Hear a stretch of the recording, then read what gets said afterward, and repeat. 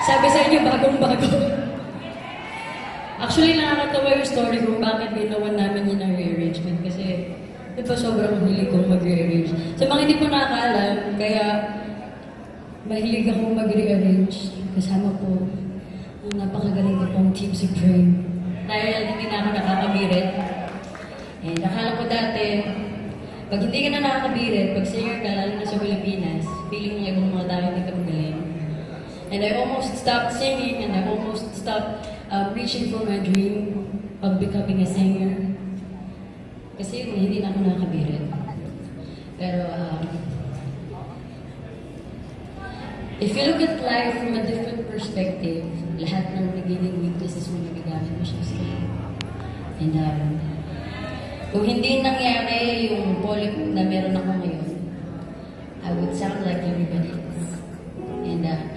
pushed me to find who I really am as an artist. Pushed me, pushed me to become a better person. Kasi mas natutunan ko mahalin kung ano ako. Pandak ako, hindi ako nakakabiri. But I don't care. Pero ayun. Tapos, may biglang nag-tweet sa akin.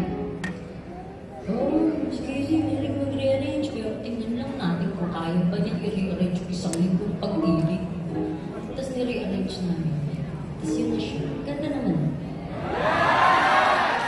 Bahala kayo, maganda yun.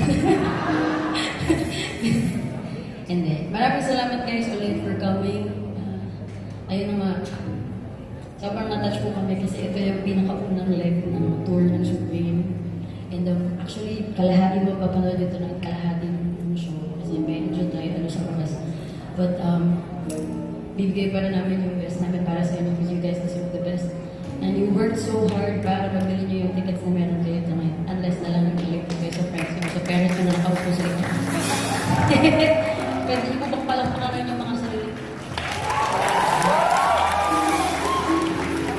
Yun. Ano na next? Hindi ko. Ito. Ito na yung sinasabi ko, kukuha ako ng mga kaduwit ko. Hindi pwedeng dito lang lahat. So meron akong mga tatlong kanta. Kukuha ako dito sa side na to, isa dito sa side na to, and then isa sa gitna. Okay lang ba? Gusto ko kailangan alam yung kanta, ha? Pag hindi alam yung kanta, baba! Walang video, baba! okay. Kuya, share niyo po yung mic. Kailangan